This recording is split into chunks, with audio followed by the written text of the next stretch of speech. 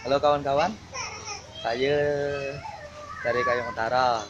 Sekarang saya berada di Rasau Jaya, acara perfilman yang diadakan oleh yang diadakan di Pontianak. Sekarang saya ingin pulang ke Kayong Utara menggunakan kapal kelotok. Sekarang kapal kelotoknya berangkat pukul 8. Ini masih pukul 6. Saya istirahat dulu sejenak mari kita istirahat. Ikut ikut. Nah, kita pergi ke sebuah warung kopi di sini. Salah satu di pelabuhan. Oh ternyata ada orang sedang main laptop ya kita bisa lihat. Ya di pelabuhan begini halo bapak.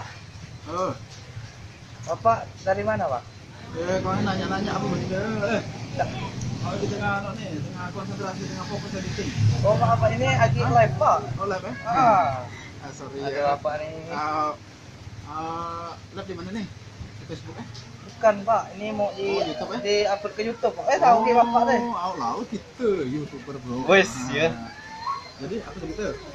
Oh bapak dari mana pak? Kami ini dari Bangkok Lapak, Eh, Kayong Utara. oh kayak utara. Hmm, Bapak pergi sama siapa pak? Itu sama cewek itu?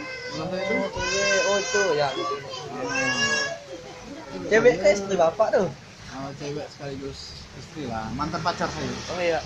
Eh, mantan pacar kan jadi istri, macam mana awak nih? Oh, Eh, terus dengan eh, utusan dari Kayang Utara, kami ikut lomba film di provinsi, alhamdulillah dapat menang, alhamdulillah menjadi betah gitu. Jadi nanya, oh gitu. hmm. Bapak nih yang sudah mau balik pun masih melakukan editing di tempat walaupun lagi tuh. Iyalah kita nyempatkan diri kita lah Oh, semaksimal mungkin. Jadi waktu itu eh, ibaratnya adalah eh, sangat berharga. Menurut saya sangat berharga. Jadi di mana pun kalau kita sempat editing, kita lakukan editing. Ada sesuatu yang bisa kita kerjain, kita kerjakan. Nah ini rencananya saya editing ke YouTube Kamen. Oh ke YouTube gak pak? Iya. Oh, Editing tentang apa pak? Boleh boleh cerita tak sedikit? tentang perjalanan, video perjalanan dari mulai Kayung Utara sampai ke provinsi eh, di sana sharing-sharing eh, pembagian hadiah, sharing-sharing film dengan kawan-kawan komunitas. Banyak sekali ilmu yang didapatkan.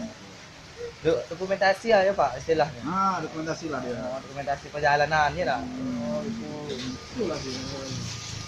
Jadi mau jadi youtuber itu pak, walaupun tidak tidak mengenal waktu, tidak mengenal tempat ya pak, harus saya bisa mempak. motivasinya bukan jadi jadi youtuber. Saya mungkin mau mau mau mukok mukok lah mukok. Oh, kalau. Mukok lah ya. Jadi bisa mema- memanfaatkan waktu semaksimal mungkin ya pak. Hmm.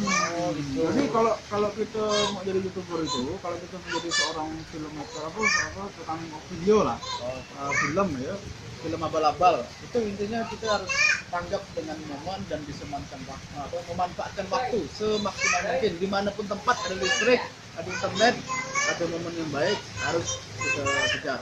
Daripada kita nganggur, oh gitu. hmm, Ya, betul. hmm. Oke. terus ketekunan yang paling penting. Oke. Terima kasih. Motivasinya yang paling penting adalah bagaimana kita berkarya, bukan karena mau mendapatkan duit. Duit itu bonus, bro. Menang itu bonus, hadiah itu bonus. Bonus dari kita berkarya, dari kesungguhan kita. Gitu. Jadi anak muda jangan kita loyo. Ah, eh, eh. oh gitu.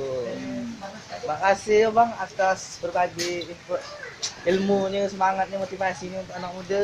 Sama-sama. Semoga anak muda di khususnya Kalbar ini me- apa termotivasi lah, bisa memanfaatkan waktu gitu. Iya, menganggap waktu itu hal yang positif. Iya. Gitu. Sekarang ini kita kalau mau kerja apa pun bisa kita kerjakan. Oh itu. Susah mau jadi orang malas. Semua bidang pekerjaan itu semuanya ada di dalam eh, apa namanya di dalam imajinasi kita, di dalam mata kita, di depan mata kita semuanya. Termasuk kerjaan seperti ini. Manfaatnya waktu gitu. Oke ya. Bisa Iya. melempem kita anak muda nih. Kak nih bebal. Oh. Oke. Kak, kawan-kawan, kita sudah bertemu salah satu salah satu penumpang kapal kelotok yang ingin balik ke Kayong Utara pada malam hari ini. Iya, jadi itu ingat pesannya ya, harus bisa memanfaatkan waktu di mana pun kapan pun jika kita ingin menjadi seorang yang sangat sukses. Oke teman-teman, mungkin kali hanya video saya kali ini hanya sampai di sini. Iya, Nah, teman-teman.